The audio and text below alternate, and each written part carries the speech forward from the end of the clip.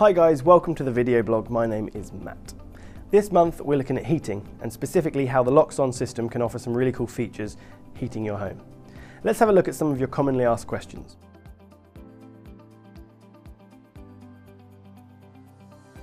There are many products out there that allow smart heating. Essentially they give you an app to control your thermostat. Whilst this is quite cool, we think it's much better if you can split the house into room by room heating. This essentially means that you can heat the room you want to the temperature you want without having to worry about wasting energy heating rooms that aren't being used.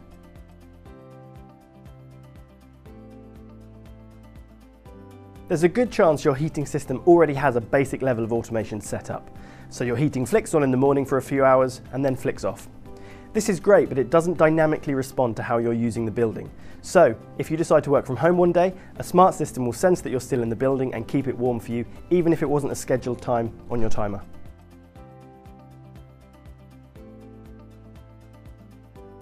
It's not just radiators that can be controlled as part of your Loxone smart home system. We can also control underfloor heating manifolds, and also if you have any sort of electric heating source, these can be controlled as well.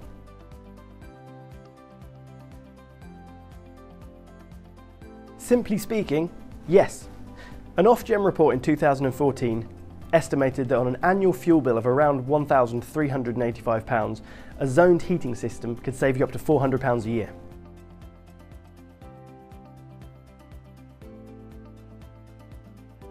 The app is there if you want to make any adjustments to the schedules or make any manual overrides. Day to day, your heating system is going to look after your house and make sure that the rooms are always at the perfect temperature. But if you do decide to start an override, or if you're leaving work a bit later, then of course you can use the app to adjust the schedule.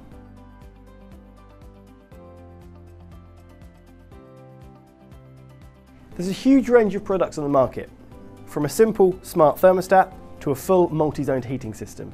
Whichever you go for, we would always recommend that you speak to a professional before having this installed.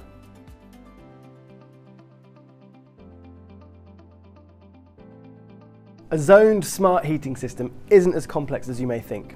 Essentially, we need a temperature sensor in each room to know which temperature the room's at.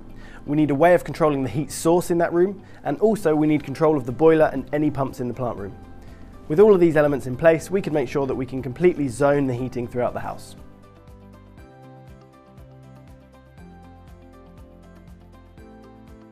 Where possible, we would always recommend going for a wired system. But if it's not possible to chase cables around the house, we do have a complete range of air products which allows you to completely retrofit a zoned heating system. To find out more information, speak to your Loxone partner today or head to loxone.com forward slash heating to find out more. Thanks for watching.